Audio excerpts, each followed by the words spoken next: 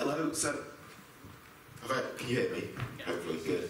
Uh, so I want to ask a question that arose out of a, uh, an ongoing research project uh, that we've been running in Leeds for uh, about 18 months. Uh, our research question is um, how hot is the Earth's core mantle boundary? So about 4,000 kilometres that way, the rocky, rocky exterior of the Earth sits on a liquid iron core. Uh, we don't really know how hot it is, and we have no thermometer to go down there and measure. So we um, we established that there are, or it is well established, there are a large number of observables, uh, things like the Earth's gravity field, um, uh, speed of seismic waves as they pass through the Earth, that uh, that are indirectly sensitive to the temperature.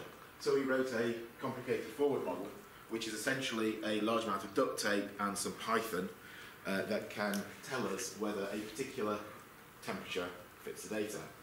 We then have to um, to try and uh, find a temperature field that matches the data, and because we have errors everywhere, uh, we decided that we'd quite like to use Monte Carlo, uh, so Markov chain Monte Carlo Bayesian type approach.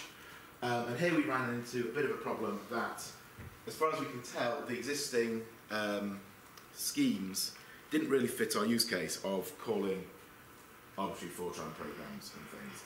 Um, so we ended up writing our own. Uh, my question is, was it sensible? Um, is there a generic package that will do what we need to do? And if there's not, how do we know when it is the right time? When is the right time to generalise um, in this this kind of way? So yeah, I hope to hear your opinions at some point.